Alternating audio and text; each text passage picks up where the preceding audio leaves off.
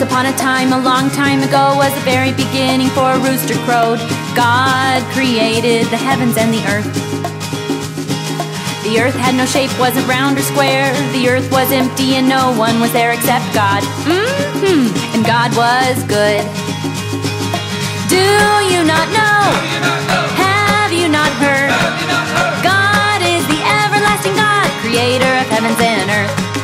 Then God said, Let there be light, and light became day, and dark became night.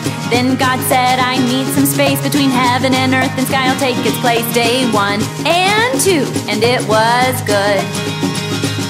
Do you not know? Have you not heard? God is the everlasting God, creator of heaven and earth.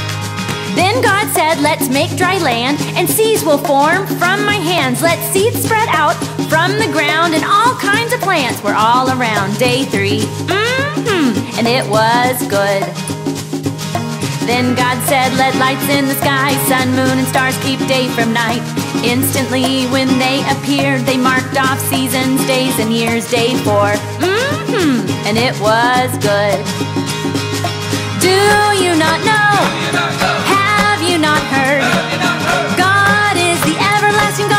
Creator of heaven and earth.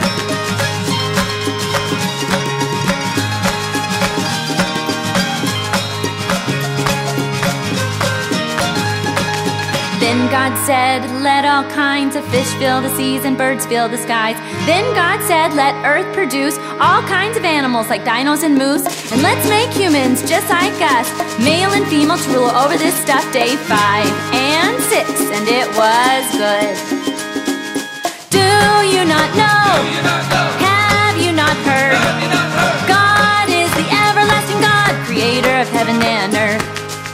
Heaven and earth were finally completed on the seventh day. From his work he rested. Last but not least, he blessed the day and called it holy in every way.